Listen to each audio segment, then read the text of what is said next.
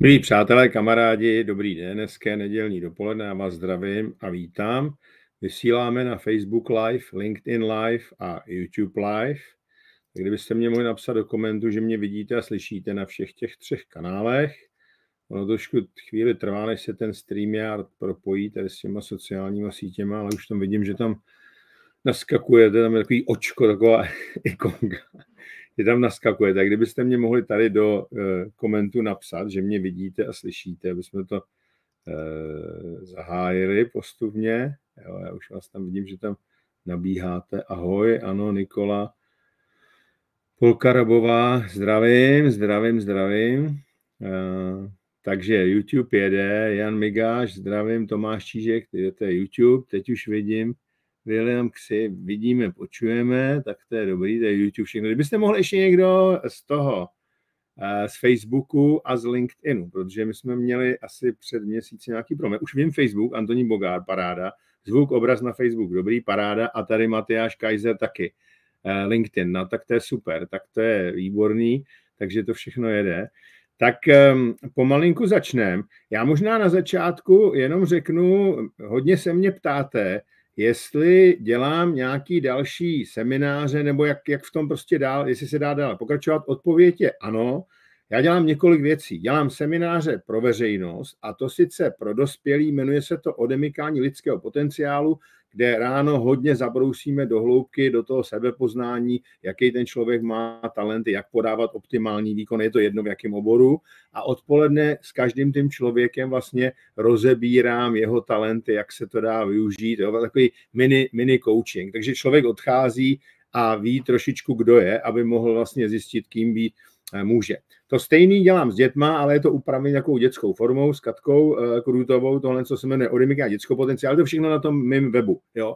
A dělám tyhle ty věci i pro firmy, uh, co se týče prostě České republiky a Slovensko, tak je to samozřejmě většinou v češtině, ale i v angličtině, protože prostě oni tady mají různý centrály. Takže jako jazyk může být čeština nebo angličtina, Jo, a dělám i různé vystoupení, nejenom ty semináře. A pak jsou ještě čtyři knihy. Eh, pozitivní lídr, to je takový hodně o tom sebepoznání a o tom eh, prostě práci sama na sobě, o osobním eh, růstu. Pak je kniha pro rodiče, učitele, trenéry, všichni, co dělají něco s dětma, odemykání dětského potenciálu, která mimochodem teďka vychází po celém světě v angličtině, vydávají nakladatelství Vily a jsme potěšení, že i vlastně ty velký, uh, velký knihkupectví na světě, jako je Barnes Noble, ji budou prodávat. Pak je kniha Rodina jako tým, kde zase je, je, jako, je to o tom, jak ta rodina může fungovat jako tým.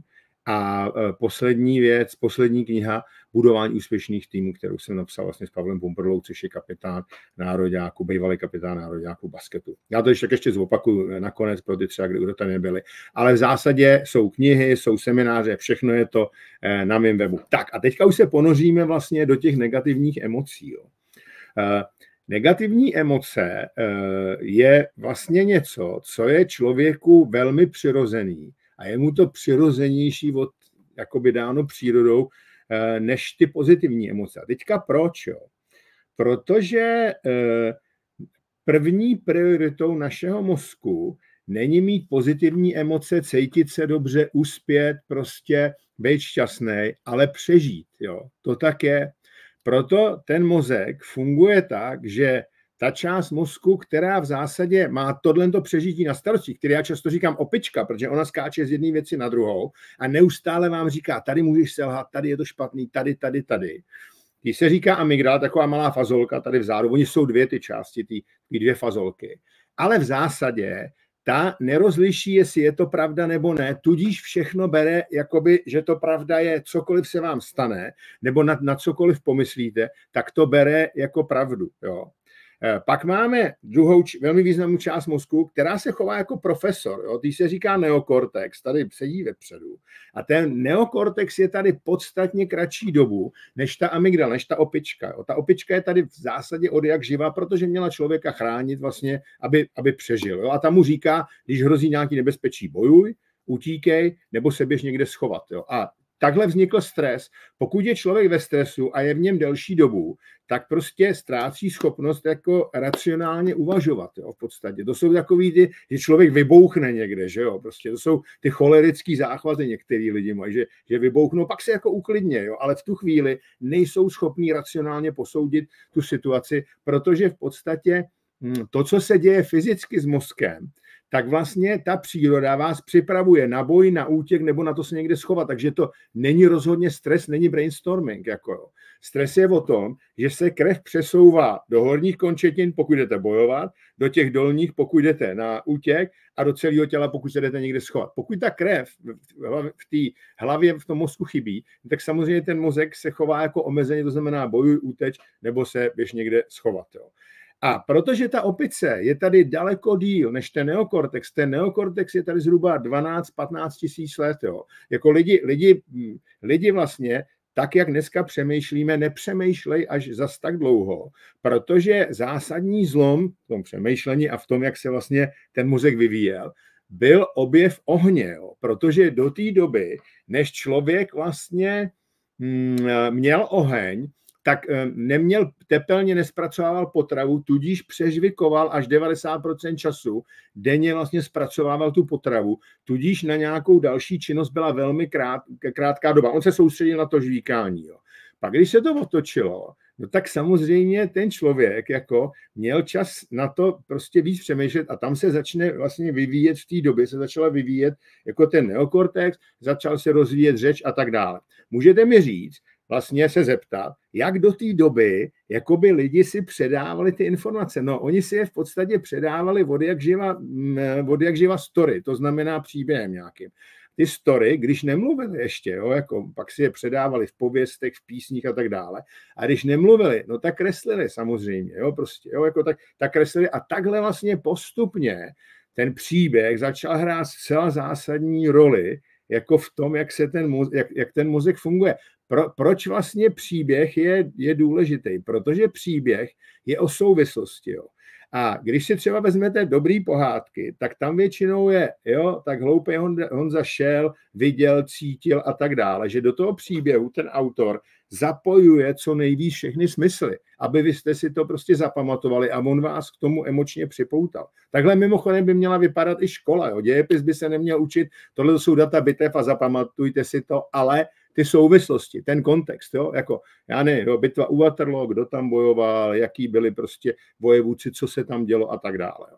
Takže negativní emoce jsou přirozený a je jich jakoby víc, pokud tu hlavu netrénujeme, než těch pozitivních, protože existuje něco, čemu se říká česky negativní předpojatost a anglicky negative bias, to znamená náš mozek má tendenci naskakovat daleko víc na negativní zprávy, negativní myšlenky, negativní emoce, než na ty pozitivní. Jo. Dokonce eh, já teďka jako řeším s pár sportovcema to, že eh, my strašně jakoby studujeme ten neúspěch, že když neuspějou, tak čím se to stalo a tak dále. Ale on ten úspěch nechává taky stopy, jo. ale my to často uděláme tak, no, tak jsem uspěl, tak super, jako, jo. prostě super, ale je potřeba si říct, jako proč jsem uspěl, jestli jsem tam použil nějaký rituál, nějaký návyky a tak dále. Rozumíte, jo? Zmapovat, jako zmapovat ten neúspěch je v pohodě, ale zmapovat i ten úspěch. Takže tohle je důvod, jo? Ten, ten mozek není stavěný na to, aby měl jako víc pozitivních emocí než negativní, naopak on je stavěný na ty negativní emoce. A teďka, jak ty emoce vůbec vznikají? Jo? Člověk, když se narodí, tak eh, v podstatě je tabula ráza, nepopsaná tabule. Jo? Že se říká tabula ráza, ne, eh, tabule jako ne, nepopsaná tabule. On má teda, že my máme 110 miliard zhruba mozkových buněk, kterým se říká neuron, když se narodíme, a některý z nich, ale strašně málo, je jich propojeny už těma spojkama, kterým se říká synapse, aby to dítě ty základní věci jako, jako zvládalo. Ale ta, ty synapse jsou vlastně spojení, takový fluidní, tekutý, po kterých putuje elektrický signál a chemický signál, elektrický a chemický signály, tak aby já, když se něco naučím novýho, abych jsem si to už nemusel pamatovat, protože to dítě se učí následujícím způsobem pokusy a omily, ale to dítě v tu chvíli vlastně ještě se nebojí dělat nové chyby, jo? protože popíšeme si, jak se učí dítě chodit. Jo? To dítě se postaví a spadne, že jo. Poprvé asi spadne po jednom kroku.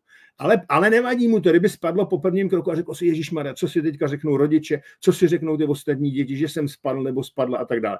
To dítě tam tohle to ještě nemá. To získáme, řekneme si to jako za chvíli. Jak, jak tohle to získáme. Tomu se říká FOPO, Fear of Other People Opinion. Co si řeknou ty ostatní lidi. To dítě to nemá. Proto to dítě se zvedne a zkouší to do té doby, než se naučí chodit. A teďka, co se děje v té hlavě, to je zajímavé. V té hlavě se děje to, že se vlastně eh, dělají tomu se říká synapse těm spojům, to už jsme si řekli, ty, ty spojení a vlastně to dítě se učí, tohle je dobrý pro to, abych se naučil chodit a na tohle si musím dávat pozor, to je špatný. A bere tu chybu jako prostě součást toho procesu celého. My často si tu chybu demonizujeme, když jsme dospělí, z toho důvodu, že se bojíme, co si řeknou ty ostatní lidi, když my selže, my se bojíme toho selhání. Jo. To je vlastně strach ze selhání. Tady je strach ze selhání a ve finále dole je strach ze smrti. Jo, to tam probublá. Já vám řeknu, jak to probublá. To je docela zajímavý. Jako. Když si vezmete lidský dějiny, tak ty lidi se snaží nějak zařadit do, nějak, do té hierarchie. Snažíme se vystudovat nějakou školu, být někde a tak dále. Jo. A čím vlastně jako cítíme, že jsme v té hierarchii vejš, tak jim je to lepší. Jo. Taky hodně lidí má deprese z toho, když je třeba demoutujou, když je, když je jako uh, dají níž v té práci, jo, nebo se jim nedaří a tak dále. A teďka, proč z toho máme, jako když vás, i když vás vyhodí z práce, je to nepříjemný a tak dále, ale neznamená to prostě konec života. Ale my si, my si to podvědomě myslíme. Teďka proč?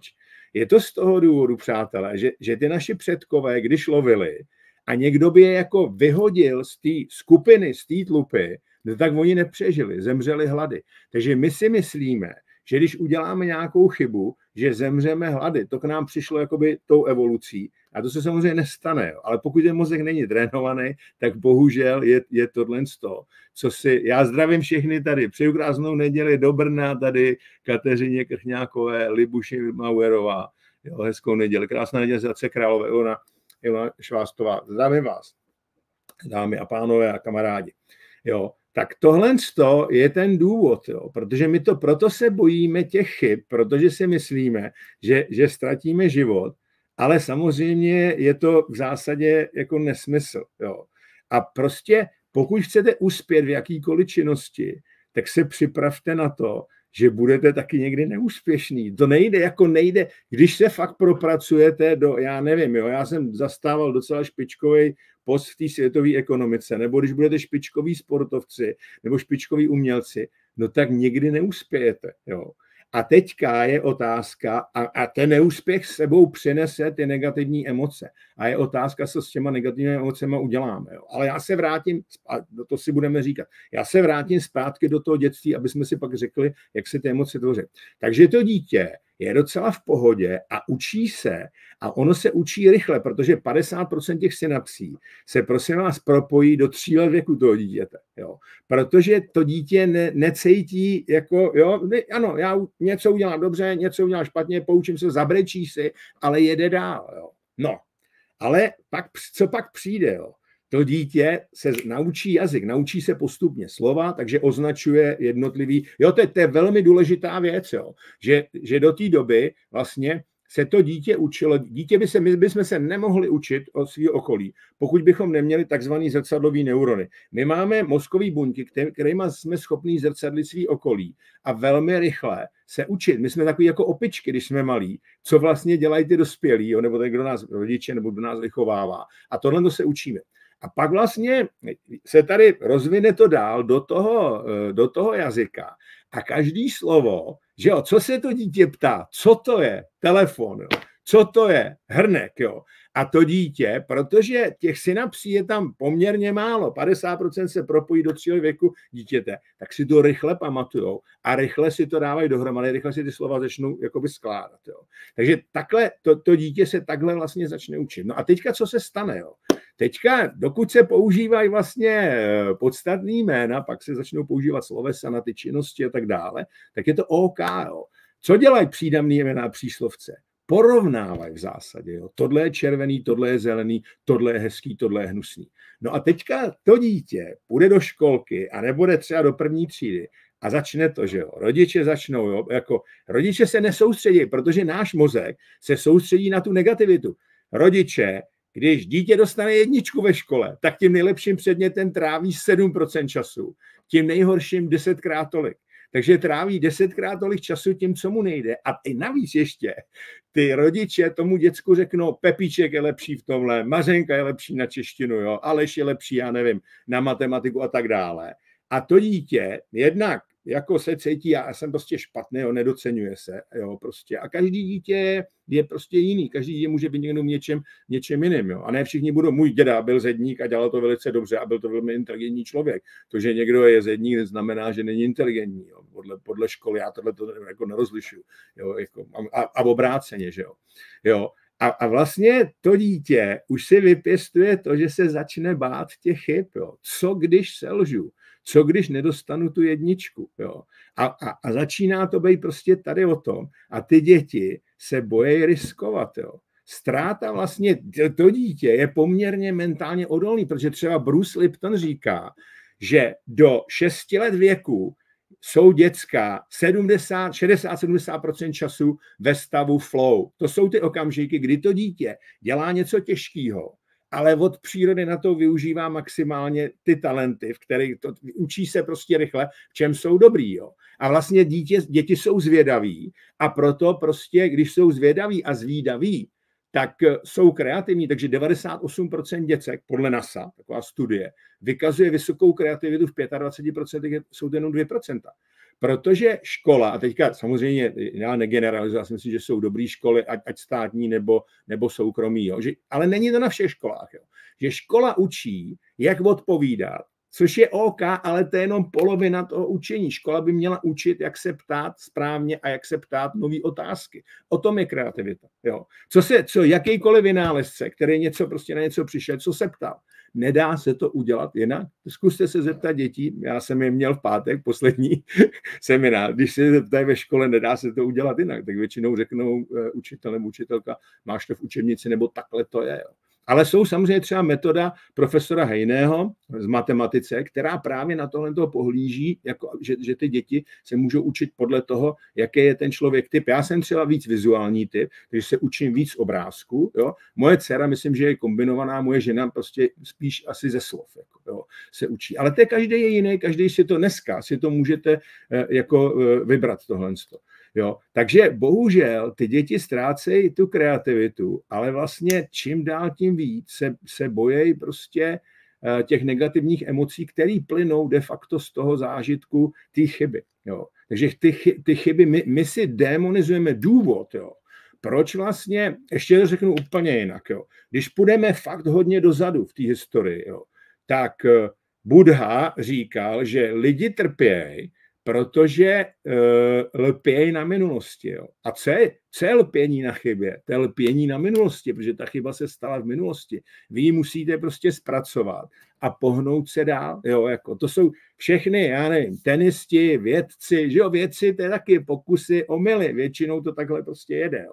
Ale my takhle nejsme vychovávaní. A ta škola samozřejmě tím, že známkujeme děti, já nemám nic proti hodnocení, naopak, jo. Ale aby to hodnocení bylo slovní, protože tam daleko líp popíšete proces. My chceme, aby děti měly růstový myšlení, aby byly každý lepší verzí sama sebe, aby se jako rozvíjely. A ve škole známkujeme, to znamená, buď jsi, to je přesně fixní myšlení, buď jsi dobrý, a nebo seš lempl. Nic ne, a nemusí být lempl, já jsem taky ve škole dostal někdy pětku. Americe už jsou některé univerzity, které nedávají fail, propadl, ale dávají not yet, to znamená ještě ne. Co to znamená? To je ten proces, jako jo. Učil ses, ale ještě na to nedosáhl. A to si myslím, že je správný, jo, protože tohle vás čeká i v životě. Jo. Akorát, že ty metody, které máme učit, jak jsou archoické. Tím chci jenom říct, že naše negativní emoce jsou hodně spojený s výchovou a jsou hodně spojený s edukací, to znamená s tím, jak jsme se prostě učili a jak se vytvořejí ty synapse. Ale dobrá zpráva je ta, že existuje něco, čemu se říká neuroplasticita.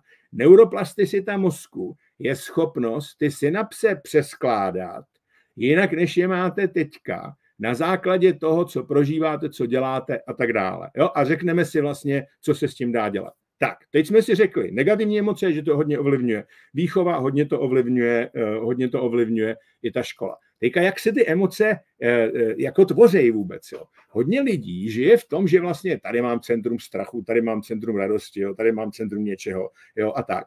Ale mm, takhle to není, přátelé, jo? protože eh, ve finále je to tak, že ty emoce se tvoří a emoce se tvoří právě na základě toho, ne na základě té situace, v které jste, ano, částečně ano, ta situace to ovlivňuje, ale jenom částečně. Protože existuje něco, čemu se říká v psychologii paradigma. To jsou v podstatě, já jsem si vzal schválně ty braille, braille, kterými se díváte vy na tu konkrétní situaci. Můžou být, já tady vezmu nějaký jiný braille, jestli tady nějaký mám. Jo. jo, můžou být jiný braille, třeba takovýhle braille, no a těma samozřejmě, to jsou sluneční braille, tu situaci uvidím jinak. A ty braille, kterými se na tu situaci díváte, ovlivňuje to, jak jste byli vychovávaný, s kým jste se stýkali, jak jste byli ve škole a tak dále. Takže to paradigma ovlivňuje to, jak vy tu situaci vnímáte, protože ten mozek doslova, já vždycky říkám, situace nemá žádný význam, nebo nějaký má, ale ne moc velký, dokud my nepřilepíme na tu situaci nějaký slovo, nějaký sticker, nějakou nálepku, jo? že řeknete, že řeknete, je to špatný, je to dobrý nebo cokoliv. Americká námořní pěchota zjistila, že je velký rozdíl. Vemte si slovo nebezpečný a slovo výzva. Řekli byste si, no to jsou velmi podobné slova. Hmm, není to tak pro náš mozek. Vysvětlím proč. Slovo nebezpečný znamená, že to je nebezpečný, že můžete ztratit život. A proto se spustí vlastně mechanismus stresu a začne se generovat kortizol. Americký, americká námořní pěchota to vyzkouše na vojácích, že skutečně výkon jde dolů, když jim řeknou nebezpečný. Když jim řeknou výzva, tak výkon jde nahoru, protože výzva pro ten mozek, pro tu opici ji nestartuje. A to znamená, že jde nahoru testosteron a ten výkon jde naopak nahoru. Takže závisí, jak vlastně vy, v tý, co vy v té situaci uvidíte a podle toho se generuje ta emoce. A teďka, jak se to, jak se to generuje? Vy teda té situaci dáte nějakou nálepku prostě té situaci. Proto je velký rozdíl, přátelé, mezi slovy respekt a strach. Respekt ano, respektuju soupeře nebo respektuju svého šéfa, ale nemám z něj strach. To je velký rozdíl. Pokud mám respekt, zase testosteron, pokud mám strach, tak je to o kortizolu a to jsou dva úplně jiný hormony. Takže si probereme nejdřív, když já řeknu mám respekt, jak, co, se, co se vlastně stane. Jo. Když řeknu mám respekt, tak, se, tak pořád vlastně jakákoliv myšlenka, kterou máme v hlavě, tak se přenese do toho těla. Teď jak se to přenáší, ty, ty myšlenky, jo? to je jako zajímavé. Takže to, co říkají, to, co říkají fyzici třeba a e, kvantová fyzika a tak dále, že vlastně myšlenka ovlivňuje hmotu, je pravda, jo, protože naše myšlenka ovlivňuje to, jak bude vystavěný naše tělo, jo, který, který proteiny, jestli nějaký dobrý nebo špatný, prostě e, se na tom budou podílet. Teď vysvětlím já. Myšlenka, kterou máte, tak vezmeme si, že, že si řeknete, že, že máte respekt, tak pravděpodobně se začne, to slovo respekt znamená, se začnou vlastně tvořit hormony, jako je testosteron a vy, vy vlastně jako respektujete to, ale v zásadě těšíte se na ten kontakt třeba s tím šéfem nebo na ten zápas. Jo? Jako je, je to takový, jako mám jemně, jsem jemně nervózní, ano, protože třeba toho šéfa uvidím poprvé, ale těším se na to. Jako. A to znamená, že to pocítíte hnedka na těle, že prostě se cítíte dobře, jo? že máte takový jako pocit zvláštního vzrušení. To určitě znáte tohle. Jo? Jako. Já třeba, když, když jdu přednášet, někam, kde jsem prostě nikde nebyl, nikdy, nikdy, je to úplně jako poprvé, tak tohle to má, a nebojím se teda, ale bál jsem se samozřejmě taky, jo, jako. To, to není tak, že vy, vy prostě se narodíte a jste dobrý speakři nebo tak, jo, a prostě na tom se jako pracuje. Ale tohle to jsem jako odstranil. A vlastně cítíte se dobře, No a když to dobře začne, tak má většinou tendenci to dobře pokračovat a tak dále. Tak, a pokud vlastně vy se toho člověka nebo té situace bojíte, tak se začne generovat kortizol. A kortizol znamená co? Bojuj, uteč nebo se někde schovat. Jo. A to většinou ty lidi svěšejí hlavu, to jsou poraženecký gesta v podstatě. Jo, jako.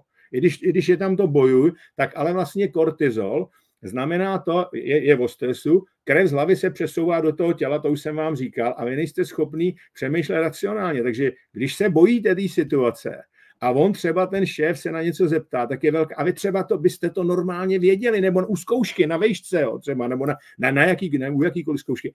tak vy se na to nespomenete. Jo. Je to daný tím, že vlastně, když jste v tom stresu a máte ty negativní emoce, tak to omezuje vaši kognitivní kapacitu prostě. Jo. Takže takhle to je. Takže ta myšlenka přes ty hormony se dostane vlastně do té emoce. No a čím víc mám negativních emocí, tak tím je větší šance, že prostě se to objeví i na zdraví. A obráceně, jo. pokud dělám něco, co mě baví s lidma, který mě baví, využívám tam svý talenty a tak dále, tak se generuje endorfin, jo, dopamin, serotonin, když je to dobrá parta, oxytocin, uh, jo, ten testosteron. A tom, tyhle ty hormony mají velmi kladný vliv na naši imunitu. Takže to naopak jako to zdraví uh, zvedá. Jo.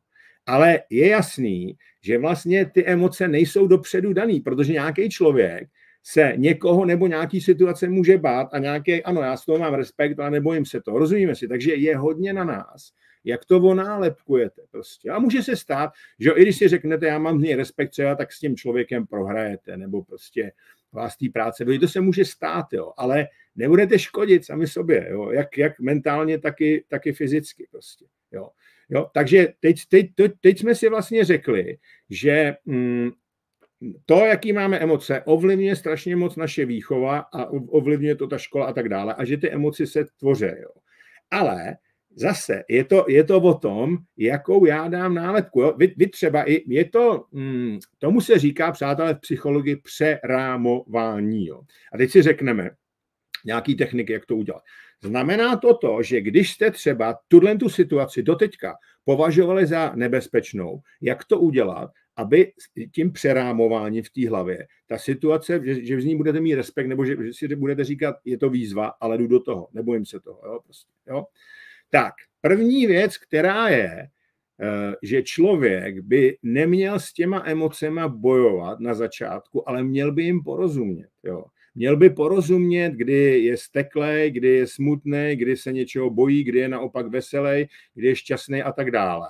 A trošičku eh, si popsat ty situace, v kterých eh, jako je to, jako, když budete, když jste steklí a říkáte, já jsem steklý, že jo, to je hodně často lidi, kteří jsou na straně, takže já nejsem na straně, já jsem úplně klidný, jo, jako nejsou klidný samozřejmě, pardon, jo, nejsou klidný, jo, protože si to, protože to neakceptují. Hmm. Takže akceptovat je první věc. Jo.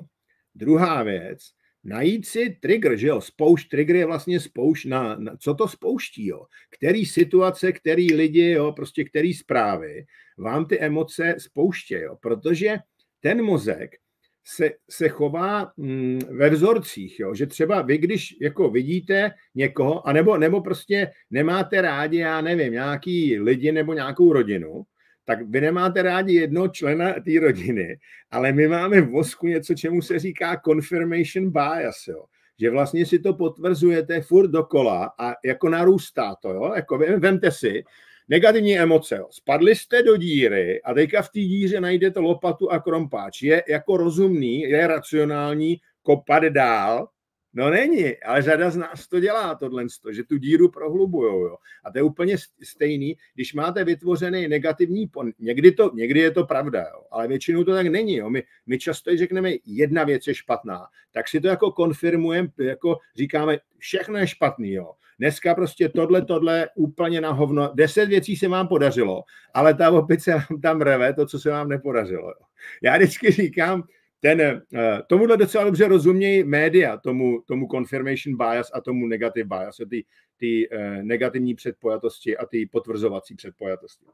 Eh, jinak, ta potvrzovací, ten confirmation bias, koupíte si červenou Škodovku, nějaký nový typ, a týden vidíte ve vašem městě nebo vesnici jenom červený Škodovky tohoto typu. To je přesně ono, že to vykrajuje jakoby z té reality, ten mozek vykrajuje jenom tohle.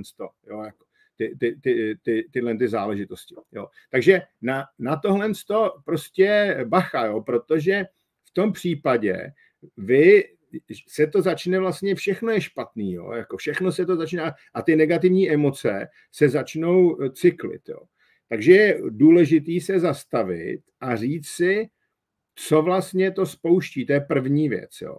A teďka jak oddělit, protože vy, vy v tom profesorovi máte velkého pomocníka na boj s těma negativními emocema, ale on je desetkrát pomalejší než ta opice, ten profesor. Takže vy mu musíte dát šanci. Jo. A z pravidla je dobrý, když je člověk nervózní a má ty negativní myšlenky, tak většinou, protože je vystresovaný, tak většinou blbě dechá, když blbě decháte, tak bránice stojí. Když decháte, když jste klidný, nádech, výdech. Vlastně my máme dvě části. Tady, když se říká sympatikus, ty nervové části, a když, když jdete jako do nádechu, tak jdete do napětí a výdech, to je parasympatikus, jak si taky se říká, vydechuj do břicha, tak vlastně se uvolňujeme. Jo. Takže když, když vlastně si uděláte párkrát hluboký nádech a hluboký výdech, tak se vlastně vrátíte zpátky do toho přítomného okamžiku. Kdybyste si vzali časovou osu, minulost, budoucnost, přítomný okamžik, jo, tak ta opice skáče. Opice jsou naše strachy, opice je naše ego. Jo? A největší strach, který člověk má, tak je samozřejmě strach o to přežití, aby přežil, protože to je to fopo, to je z té minulosti, jo? proto se bojíme těch chyb. A vlastně ta opice skáče do minulosti anebo do budoucnosti. A často to řetězí. Jo. Teď jsem neodpověděl tomu ředitelovi svýmu otázku a proto mě vyhodí z práce nebo mi nepřidá. Jo. Takže jsem udělal nějakou chybu a bude to znamenat tohle do budoucna. Ta opice nikdy není tady a teď, nikdy není v přítomném okamžiku. Jo. Zkuste se nadechnout zhluboka a vydechněte. Tak a řekněte mě, čeho jste se báli, když jste se nadechovali a vydechovali. Nebáli jste se ničeho, protože jste se soustředili na ten nádech, výdech, na ten dech a na to tělo. A to je vždycky v přítomném okamžiku. Naše mysl skáče, to je normální. Jo. Ta opice vlastně jakoby skáče. A když chcete dát e, příležitost tomu profesorovi, no tak se musíte vrátit do toho přítomného okamžiku a to je právě ten nádech a výdech. Jo, prostě. Protože vy tam uděláte mezeru. Vy když prostě vás někdo nasere s odpuštěním, tak to chcete hnedka oplácet. Jo? A to je ta opice. Když se nadechnete a vydechnete, prostě, tak vytvoříte mezeru, který se říká svoboda volby a tam ten, to racionálno může zasáhnout nějak. OK? Další věc, co můžete udělat, tohle je jakoby hodně taktický, co můžete udělat takový. Další věc, když se vám pořád něco honí hlavě, že to je špatný a tak dále, zastavit se a říct si, to, o čem přemýšlím, je to vůbec logický. Zase šance, všechny te, ty terapie, které existují, tak jde o to, jak dostat ten mozek z té emoční, vlastně z toho fungování do toho racionálního fungování. Jo? Jako, jak, jak ho dostat z těch negativních emocí do toho racionála. Takže je to logický ta věc, první, první, první otázka. Mám na to nějaký důkaz, druhá otázka. A třetí otázka, prospívá mi to v tuhle chvíli. Pokud je, že odpověď je, že ne, tak to je nějaká kravina. Prostě, jo. Takže to je taky taková taktická, co můžete použít hned. Teďka, když se ty strachy a ty negativní emoce hodně motají a hodně často vlastně e, na to myslíte, jo. Vemte tušku a papír a zkuste do první kolonky sepsat všechny sračky, co v té hlavě máte, co vám ta opice tam hází. Všecko si tam napište. Vemte si, kdyby, to na to není mikrofon, to je nahrávátko, ale tam vlastně nějaký mikrofon tak prostě, kdyby si to dali v opici, tak ona se vykecá. První sloupec je opičí sloupec. To jsou všechny strachy, negativní emoce, všechno, co tam máte. OK? Druhý a třetí sloupec už je bude profesora, takže to dáte profesorovi. A druhý sloupec bude o tom, co můžete udělat na straně prevence. Jak, jak, jaký kroky udělat, aby se ten první sloupec vůbec nepřihodil u každé položky. A třetí sloupec, když se to náhodou vlastně eh, podaří, když se, když se to náhodou eh, nepodaří, pardon, když se to náhodou nepodaří a pořád vlastně se to stane, ta negativní věc, jo, tak jak to můžete skorigovat. Takže první sloupec je vlastně o tom, o té opici, Druhý sloupec vlastně je eh, o, o těch, o té prevenci a třetí sloupec je o té korekci. A pokud tohle to uděláte, tak ta opice, ona funguje tak, přátelé, Ona funguje tak, že když už jste v té situaci někdy byli a máte to zpracované v té hlavě, tak je daleko klidnější. Tak ví, že si budete vědět v té situaci rady. Jako když se vás ten šéf zeptá, mě když se Bill Gates na něco zeptal, to jsem nevěděl, tak jsem mu řekl následující věc. Byle, to je skvělá otázka, to se mě ještě nikdo nezeptal. Teď vám vysvětlím, o co jde. Tohle zhruba je 6 vteřin, tady to, co jsem řekl. Byle, je to skvělá otázka, to se mě ještě nikdo nezeptal. Za těch 6 vteřin vlastně vy v podstatě sklidníte tu opici a dáte šanci tomu profesorovi. A já říkám, já to zkusím tady prostě vymyslet. Sklidnil jsem se a začal jsem přemýšlet nahlas, jak by se na to dalo jako přijít. Jo, prostě. Jakým způsobem by se, by se na to dalo přijít. Takže tu, vy, vy vlastně, když sklidníte tu opici, ať už jste na to opravdu prožili, anebo jste připravený jako na papíře, anebo uděláte tohle z toho, tak ta opice se uklidní. Jo. Proto třeba já trénuju, tady píšou, že lehy i menší byly výborný. Byly, no, byly, určitě jo, jako jo. Já vlastně s Jirkou jsem dělal, teď už je to takový jako míň. Já dělám hodně uh, s Honzou Kumstátem teďka, který za pět týdnů byl na prvním vlastně Grand Slamu a byl nejlepší český tenista, vyhrál, byl, byl v tom, dostal se až do finále uh, na Australian Open, fantastický, jo, a Lehy taky, Lehy vyhrál vlastně ten turnaj před my jsme furt v kontaktu samozřejmě, jo. Lehy vyhrál ten turnaj před Australian Open, tam, tam Australian Open vypadl ve druhém kole, ale jo, dobrý, máme teďka Lehečku, Menšíka, Jo, pak máme Macháče a určitě si myslím, že brzo se k ním připojí za nějaký ten rok i Honza Kumstát, jako, který byl ve finále toho středu úplně úžasný. Jo. To je, a přesně to, co vám teďka vykládám, tak eh, jsem se snažil s ním, protože já jsem na to měl pět týdnů na tu přípravu, tak téměř jako denně, pak když byl na Australian Open, tak jsme, tak jsme to, to bylo denně předtím, tak třeba jednou za týden ale dělali, kam dojdeš, tam dojdeš, klid prostě krok za krokem, aby, si, aby tohle to vlastně prožíval a dostal se, on, on, on poskočil ze 42. místa na světovém žebříčku na devátý, ten, ten Honza Kumstad. Ne, ale hej, za těch pět let, co jsme dělali hodně intenzivně, tak 1050 do první třicítky, což si myslím, že je taky slušný. Ale samozřejmě, že to není, to je hlavně těch borců, já nosím jenom vodu, já jim jenom pomáhám. Jako. Zpátky k těm negativním emocem. Jo. Takže tohle je, je další finta, že vy, když pro, proto já třeba s těma sportovcema si vizualizuju nejenom úspěch, ale i to, jaký překážky budou muset, eh, jaký překážky budou muset prostě eh, překonávat. Jo, jako. Tak, takže to je další věc. Tohle to už jsem někdy říkal a teďka vám řeknu jednu věc, kterou si myslím, že tady řeknu poprvé, jo, protože eh, já jsem teďka byl nějak nadovolený taky nějakou dobu a tak, takže jsem měl čas studovat různé věci. A je nová studie, která je jakoby zcela zásadní v tom, jak s těma negativníma emocema dělat. Oni zjistili, že když člověk sobě mluví jakoby ten interní dialog v té první osobě, jo, prostě, tak vlastně ta opice to bere, ano, to jsem já, je to nebezpečný a tak dále. Jo. Jakmile začnete k sobě mluvit ve druhé osobě nebo ve třetí osobě, tak ta opice, když budete říkat, tak eh, udělej tohle, udělej tohle, prostě překonej tohle, jo, anebo Honza udělá tohle, jo, druhá nebo třetí osoba, tak prosím nás, co oni zjistili, že ta opice je vytrénovaná na tu první osobu, jo, jako, a že to, že když mluvíte k sobě ve druhé nebo ve třetí osobě, takže jako vás to uklidňuje. Zjistili to tak, že, že udělali, teď nevím, to bylo na Stanfordu, myslím, že na Stanfordu, udělali takovýhle pokus. Vzali lidi, kteří měli strach z osobního pohovoru. Ten pracovní pohovor takový, že když jdete někde zažádat o místo a tak, tak z toho měli strach. Jo. A té první grupě řekli, připravte si to v první osobě. A té druhé grupě měli další dvě grupy, druhá a třetí osoba. Tak. A teďka ty, ty, co si to připravovali vlastně v té první osobě, tak jim pak měřili jako adrenalin, jako dlouhodobý, ale hlavně kortizol, jo? protože kortizol to už je dlouhodobá nervozy. Adrenalin vás třeba jako nakopne na to, abyste že jo, se dostali do flow, tak potřebujete určitou úroveň adrenalinu. Jo? A zjistili, že ty lidi byli o 60% nervoznější, když mluvili k sobě v první osobě. Když mluvili ve druhý nebo ve třetí, tak byli o 70% klidnější ty lidi. Jo. To je prostě úžasný. A já, jako třeba Petra Kvitová, že ta, ta vždycky říká pojď, nebo ta moje uh, Nikola Barduňková říká taky pojď, jo. Ale je, je taky důležité ještě jedna věc, jo. K sobě mluvit v té druhé a třetí osobě, i když se vám nedaří, jo. Protože ten mozek totiž jako vy, vy, vy, i když se vám nedaří ta, a furt se povzbuzujete, tak vlastně ty myšlenky, ty pozitivní emoce, věříte si, říkáte, je to challenge, ale jdu do toho, ještě budu bojovat, tak se to přenáší na to tělo a pak se to odráží i na tom výkonu. Jo. Řada sportovců, všimněte si, že většina tenistů a tenistek, když nedají prostě míč, tak sklápějí hlavu. Jo když dají dobrý míč, tak dělá jako Vamos a tak, ale Vamos by se měl dělat i tehdy, když se mi nedaří. Protože vy, vy totiž těm, těma chemikáliema, těma hormonama můžete přerazit to, protože opravdu, proto já říkám, šampion se cítí jako vítěz, i když momentálně prohrává. Tam je důležité to slovo cítí. Já neříkám, že je vítěz. Když prohrává, tak prohrává, ale on se může cítit. Protože vlastně, když se cítím jako vítěz, no tak se cítím, i když třeba to skore zatím tomu neodpovídá. Jo?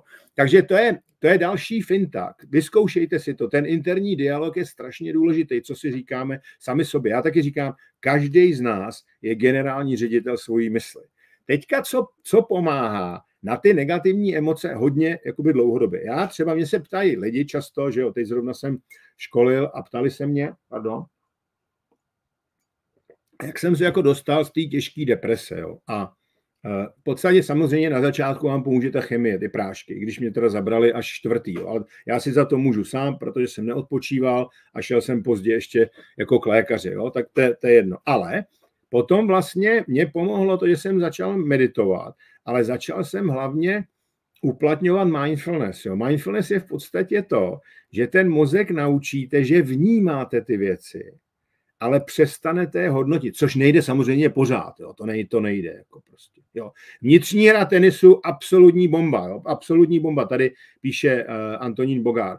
Eh, ten, co to napsal, Tim Grover, uh, Tim Grover, pardon, Tim Galloway, Tim Grover, u toho jsem byl taky, ale Tim Galloway, tak já jsem jednou dokonce dělal rozhovor pro českou televizi s ním, ještě to mám někde na počítači, ale hlavně on podpořil tu moji první knihu. Je, je v té knize jako, jako napsaný, že, že říká, že ta kniha je je dobrá, že to potřeba. Vnitřní hra tenisu rozhodně doporučuju. Není to jenom o tenisu. O, ty, ty, ty věci, které píše Tim Gallagher, už mi 85, jo, tak jsou super. On, on napsal i vnitřní hra práce a takový. Jo.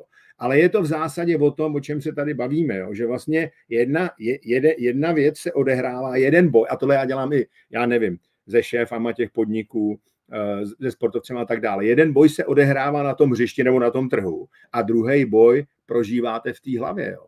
Jo. To už říkal Cunsu, prostě vítěz, jo, jako nejdřív vyhraje ve své hlavě a pak jde vyhrát na to bitevní pole. A takhle to prostě je. Jo. Vy, když si jako nevěříte, když jste šéfové a nevěříte si, tak málo kdy vyhrajete, ale ty lidi to na vás poznají. Lidi jako Samozřejmě, že tupá sebedůvěra, jak je na prd, ale taková ta rozumná, jo, takový to ano, bude to prostě jako eh, výzva, ale jdeme do toho. Jo, prostě a, a tyhle ty věci dá těm lidem energie. Takže mindfulness je v podstatě to, že děláte věci vědomně, ale nehodnotíte to, co děláte. Já můžu ten čaj pít automaticky, anebo se napiju. Jo, děkuji jinak za hrníček Báře Matoškový, to je plavkyně naše, která tam studuje na té univerzitě. Uh, Ankansasu, uh, se napít a prožít, jak, ta, jak ten čaj klouže vlastně tím hltanem. Jo. Protože v momentě, kdy, a, a nehodnotit to, ale jenom prostě to vnímat, protože přátelé, když to začnete hodnotit, tak už jste v kopru. Jo. Teď řeknu proč, protože hodnocení už je o té minulosti. Tohle já říkám všem tenistům. Ty zahraješ míč, jo, prostě, raketa jde z dominantní, když jsi pravák, do nedominantní ruky, což čemu já říkám mentální jingle, což znamená, něco skončilo a něco nového začne. Protože on to, to je ten míč, ať už ho vyhrál nebo prohrál, to je z hlediska přítomného okamžiku, z hlediska toho míče, který teď nastane, úplně irrelevantní. A takhle si to musíte udělat v té hlavě. Pokud vy trpíte s tím, že jste ten míč prohráli a naopak, nebo naopak, se radujete, je to super, teďka to půjde takhle dál, tak vypadnete z toho přítomného okamžiku, nesoustředíte se, protože vy musíte udělat to. Jedině tehdy, když se soustředíte, protože ten mí, letí na vás jiný míč, a vy ho musíte vyfotit, v tomhle případě je dominantní smysl oči, takže fotka, vy ho vyfotíte a když se 100% koncentrujete, tak z té vaší dlouhodobé paměti vyjede další fotka, ty se spárujou a vy zareagujete správně. Pokud z jakýhokoliv důvodu vypadnete z toho přítomného okamžiku, už se nekoncentrujete, tak se to překrývá částečně a vy uděláte chybu. Jo. A to je prostě přesně ono. Jo. Jakmile sportovec se začne hodnotit během toho výkonu, tak je to kontraproduktivní. Prostě, jo. Vy musíte prožívat, jako to vítězství vzniká v jednotlivých přítomných. A samozřejmě nemůžete, včera kluci jinak taky, že jo, 6-1 oba dva vyhráli první set a pak měli tiebreaky, jo, protože oni zase ty dobrý, jo, ty, ty Izraelci nejsou na takový úrovni jako naši kluci, jo, jako žebříčkově, ale když zabojujou, no tak prostě, jo, a tomu druhému to třeba přestane jít, ale oba dva to dotáhli, je potřeba říct, jak lehečka, tak menších to dotáhli, dokonce věřím, že dneska vyhrajeme čtyři hry, že, že ani možná dvou hry se už hrát jako nebudou, jo, prostě. Ale, ale Slováci porazili Srby, tak to je velký, tak to, to blahopřeju na Slovensko, jako, prostě. Tak, takže to je tohle. Teď jsme si vlastně Eh, teď jsme si říkali o, eh, o jsme si říkali. A poslední věc, kterou vám chci říct, je vlastně sebepřijetí. Jo. Protože řada lidí jako trpí tím, že vlastně nepřijme to, co se stalo. Jo. A vy, jako jo, hovoří se o tom, že, že prostě bychom měli mít bezpodmínečně rádi naše děti, nebo bezpodmínečně rádi našeho partnera. Jo ale musíme mít hlavně bezpodmínečně rádi sami sebe. A teďka co to slovo bezpodmínečně znamená? No to znamená bez podmínek. To znamená, že si na sebe nemůžu dávat jako podmínky, vyhrál se, vyhrál, prohrál, prohrál. Jo? Jako ano, stalo se to. Ta hlava se musí nastavit do toho módu, jo, uh, Nelson Mandela. Buď vyhraju, anebo se naučím něco nového. Prostě vyhraju, nebo se naučím něco nového. To je přesně to růstové myšlení. A potom si zamilujete ten proces, to, co děláte, jo, jako, a ty výsledky jsou důležitý, samozřejmě, ale ty výsledky budete, ať už děláte cokoliv, jste umělci, business, sport, cokoliv, vědu, tak ty výsledky se dosahují tak, že máte dlouhodobé dlouhodobě konzistentní výkon, jo? že tam, že jo, prostě někdy vyhrajete, někdy prohrajete a furt se ale zlepšujete, jo. Je krásný, uh, je to teda v angličtině, School of Greatness je podcast takový a teďka asi dvě epizody na zpátek tam je poslední rozhovor, který tam dělal uh, s Kobe Bryantem, jo, jako úžasný, jo. A on to tam přesně tohle to říká, jo, že na začátku uh, se mu nedařilo, že, na, že byl jako ve 12 letech úplně podprůměrný basketák a najednou ve 14 letech byl nejlepší prostě basketák v té kategorii ve, ve, ve Spojených státech. Co říct. A teďka, co se vlastně stalo? Jo? Samozřejmě, že na sobě makal a tak dále, ale měl tátu, který mu říkal, já tě budu mít rád, i když nedáš ani koš, a nebo jich dáš 60, já tě budu mít pořád rád prostě, jo. Bez ohledu na ten výsledek. A tohle je nutný si nastavit v té hlavě, jo? protože je, určitě, když chcete něco v životě dosáhnout, tak budete dělat chyby. Mně se málo kdy podařilo něco prostě naplnit. Já to řeknu takhle, jo, jako. Já jsem měl dva juniory během šesti měsíců ve finále Grand Slamu. Má to, tu Bartuňkovou, Nik, Niky Bartuňkovou ve Wimbledonu a teďka Honzu Kunstáta. Jo. A, a jsem jako happy, že to tak je ale je to přesně o tom. Jo. A věřím, že, že ten Honza nebo někdo jiný, někdo prostě další, to, to vyhrajou. Jo. Ale prostě hol, to se dvakrát nepodařilo za sebou. Jo? A oba, oba dva Honza třeba mě chyběli mu dva míče do toho. Niky taky hrála velice dobře.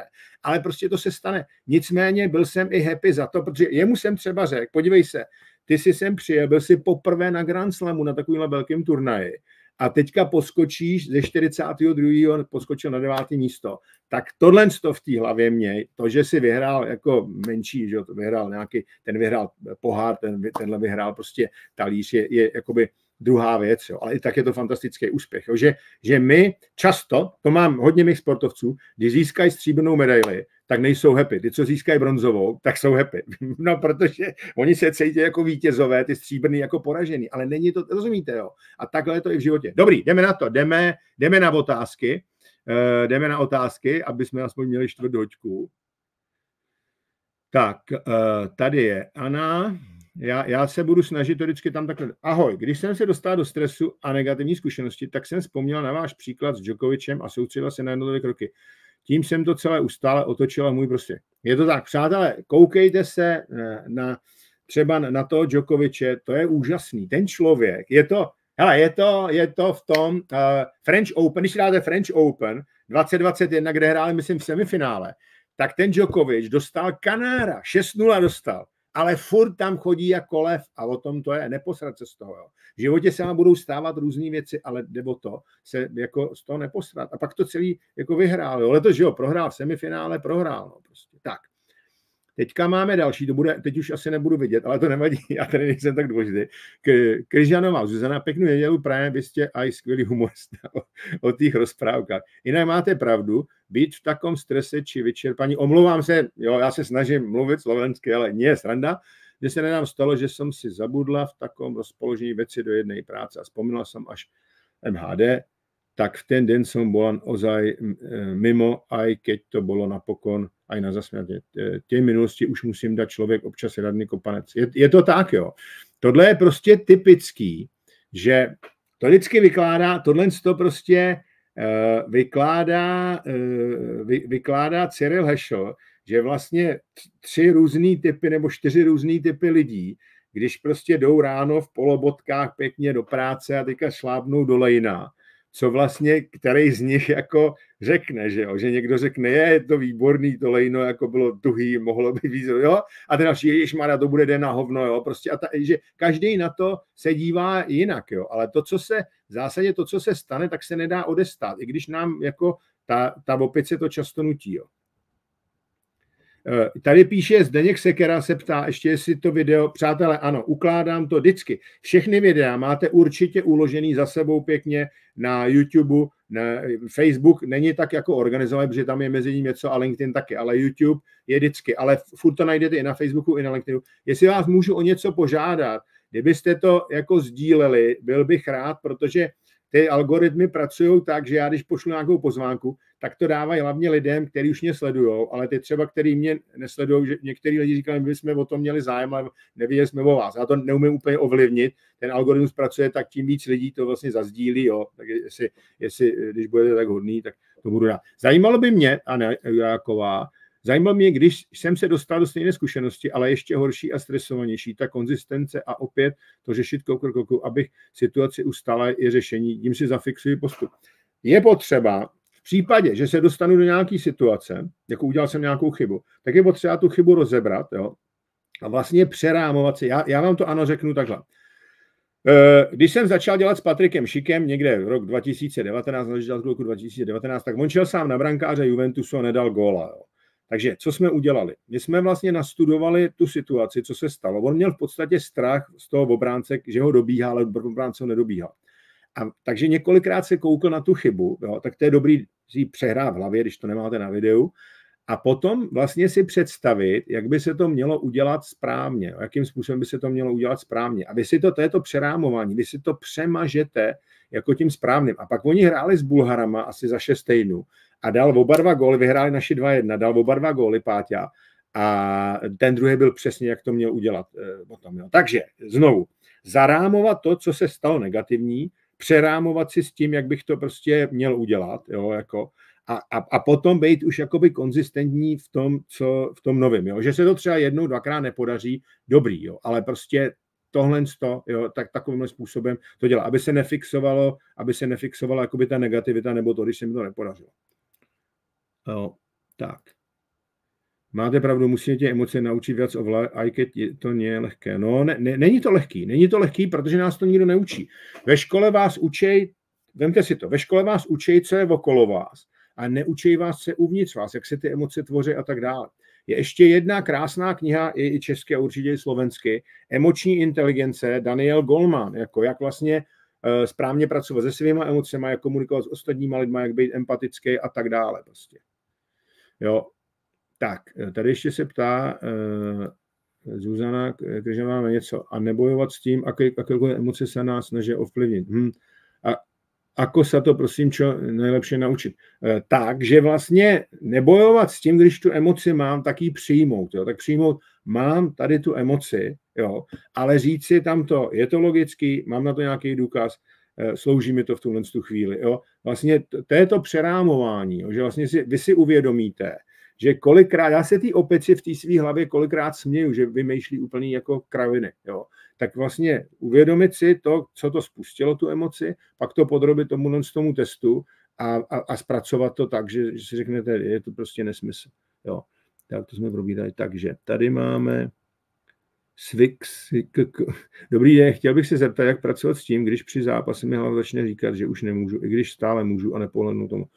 Uh, jo, jo, paráda. Tak, je základní hormon, který vlastně ovlivňuje to, jestli se cítíme, i když jsme jakoby na papíře unavený, nebo ten zápas probíhá dlouho, nebo ten závod, jestli se cítíme unavený, uh, jo, jako, anebo ne.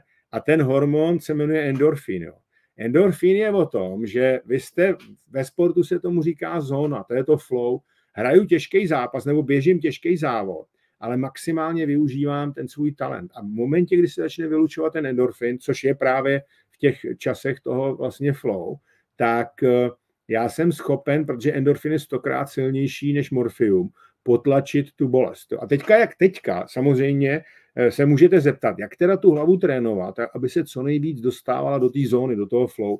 Přátelé, flow v zásadě jsou vlastně okamžiky, kdy jste už mimo zónu komfortu, jo, že, že je to už jako pro vás namáhavý, ale zase ne úplně. Třeba Cyril Heše říká, že ta činnost by měla být tak o 4 až 5% mimo tu zónu komfortu. Jo. To, to, co zvládáte normálně. Jo. A přitom využíváte ty talenty. Takže třeba při tréninku si dávat fakt jako velký zátěže, dostávat se co nejvíc mimo tu zónu komfortu. Jo. Hodně s tím pomáhá i zvídavost, jo, že si třeba každý den přečtu, stačí 10-15 minut, něco nového, o čem jsem vůbec předtím nepřemýšlel. A nebo si pustím nějaký video, které, o čem jsem vůbec jako s ním o tom nepřemýšlel nikdy a tak. Protože Eh, ta zvídavost vede vlastně zase člověka do, do toho, eh, do, se opouštíte, opouštíte tu zónu komfortu, jo, tak jako. Jo, takže Marie, Marie Trpíková, zdravím taky na Hanou. Klára Karásková. No to otázka úplně mimo téma, ale často o tom také mluvíte, jakou váhu dáváte testům IQ. Veřejně přiznávám, že můj se byl nižší, než jsem čekala.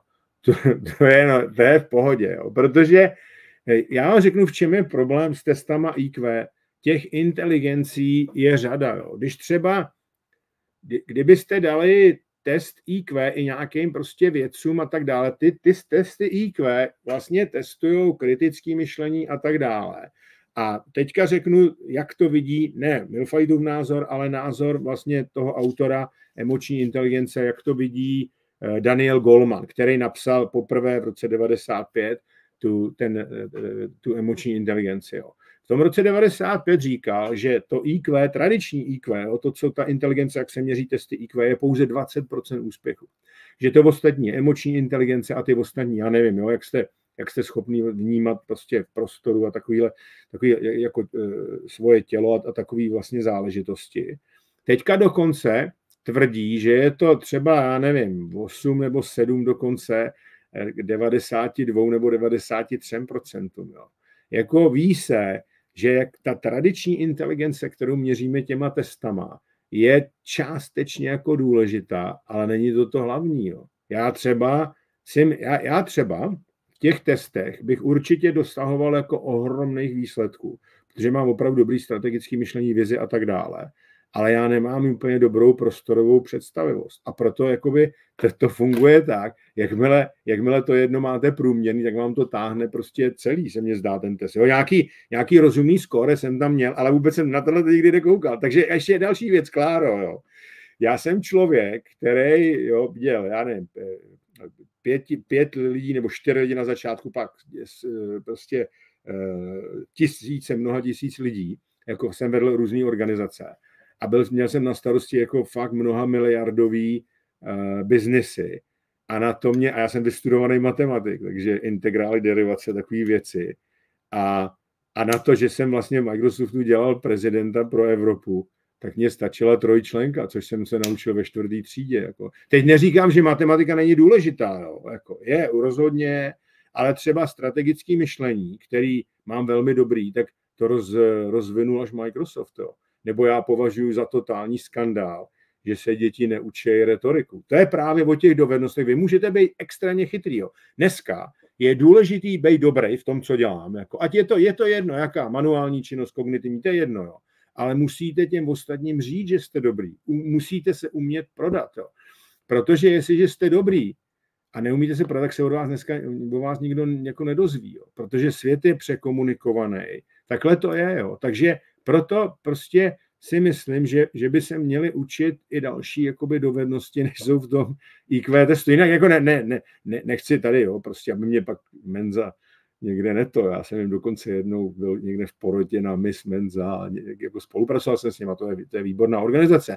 Ale jako nepřeceňoval bych to. Není to jenom jeden druh inteligence. Jako se samozřejmě nedá jenom přeceňovat ta emoční, ale ty, ty emoce jsou důležitý. Jo. Já si myslím, že v tom, co jsem třeba dělal já, když máte hodně lidí, já jsem prostě pracoval s lidma z 56 zemí, jo, tak jako se musíte nacítit, naučit se, jak to v těch zemích je.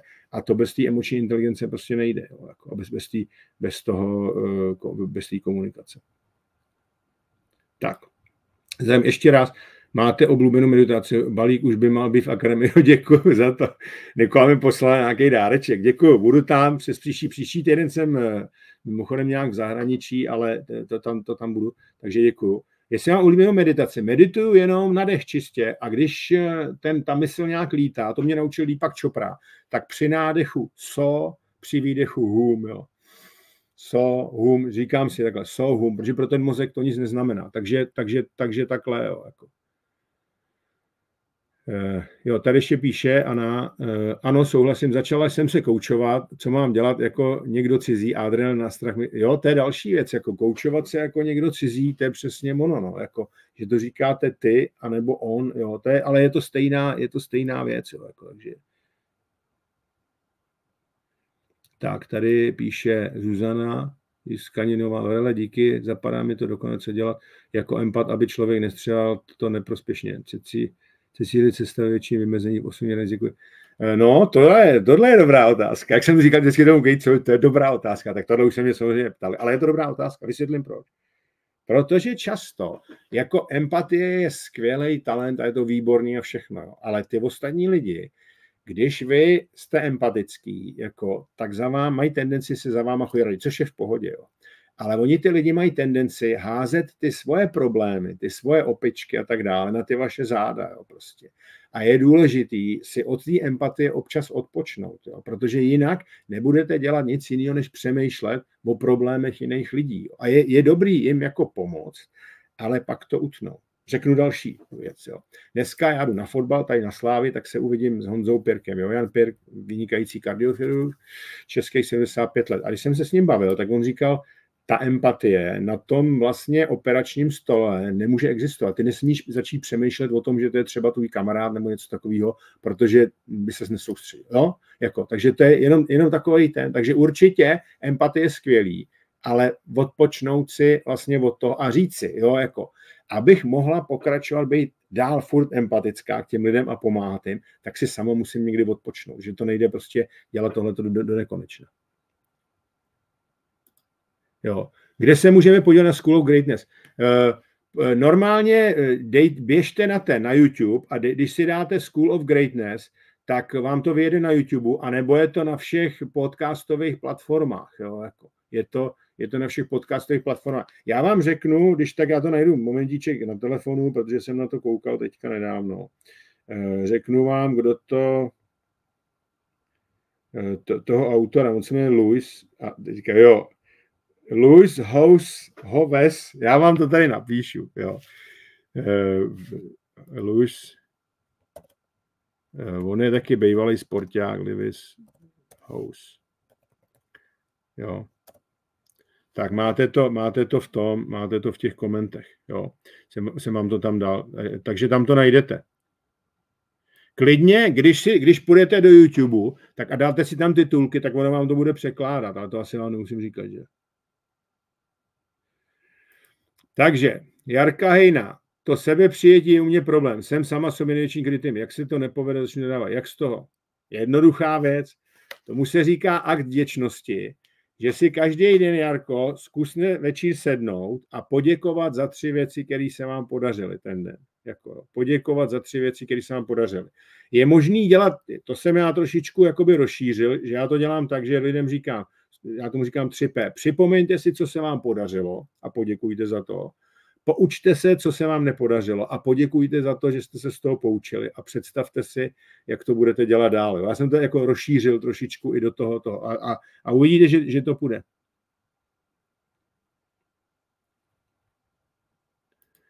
Mysl si s námi hrá, kým nepochopíme, že se s námi hrá. No to je pravda, jako je, to, je to tak, jo, prostě, je, je to přesně tak. Tak, tady píše ještě Eliška Lišková. Opakují se mi dokonale stejné situace, jen se za to dosazují jiní lidé. Nedokáže rozklíč, rozklíčovat, proč se situace opakuje jen s jinými lidmi. Považuji emoce za zbytečné, nemít je je dle mě jednodušší. Odosobnit se, což je ale ne... No, tohle to, o to se snaží hodně lidí nemít emoce, ale to nejde, jo, protože řekli jsme si, že emoce vlastně, emoce je to, kde myšlenka potká tělo. Jo. A jakmile člověk přemýšlí, to by, ne, to by člověk nesměl přemýšlet, aby neměl emoce. Jo. Ale jak, jak vlastně na to, jo, když se to opakuje v různých situacích, tak je zřejmé, že eh, ten spouštěč bude eh, naše mysl. Jo. To, co vlastně, o čem přemýšlíme, tak si zkusit vlastně říct eh, jakoby pár věcí, co to může spouštět, jedna věc jo, prostě které věci to můžou spouštět, jo, a jestli se tam něco opakuje. A další věc je terapie, protože ten terapeut to může být něco, nějaký prožitek z mládí. Terapie, víte, oni často říkají, Maria, ty jdeš k psychoterapeutu, to jsi asi bláze. To je nesmysl. V Americe má terapeuta prostě téměř každý druhý člověk, jo. Protože často z té výchovy nebo ze školy nebo z čehokoliv, tam něco zapadne do toho podvědomí a je těžký to zjistit. A ty terapeuti jsou dneska na to stavěný a trénovaný. Takže tohle toho bych udělal. Hm?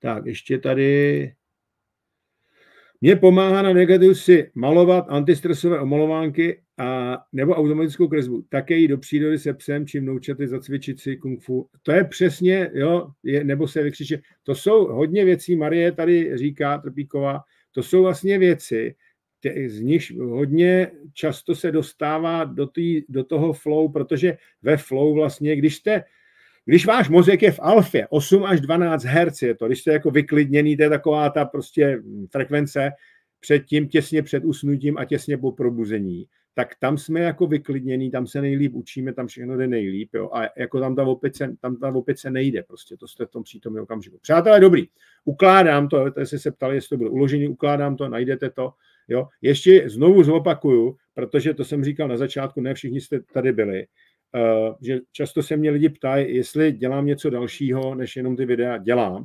Jsou semináře pro veřejnost o demykání lidského potenciálu a pro děti o demykání dětského potenciálu. Je to všechno na tom, je to všechno na mém webu. Jo, jako, je to o tom sebepoznání, jak zjistit svoje talenty, jak, jak, jak prostě ty, ty talenty využívat a tak. Jo. Dělám tohle stejný i pro firmy, přednáším česky, anglicky, jak semináře, tak nějaký prostě vystoupení a tak a pak jsou vlastně čtyři knihy, jo, to jsem tady říkal na začátku a to najdete všechno na tom webu. Takže to je tohle. Přeju vám eh, dobrou chuť obědu a těším se s vámi na skanou. Ahoj, dneska vás tady bylo hodně, teda, jako, tak to je dobrý. Tak děkuju, ahoj.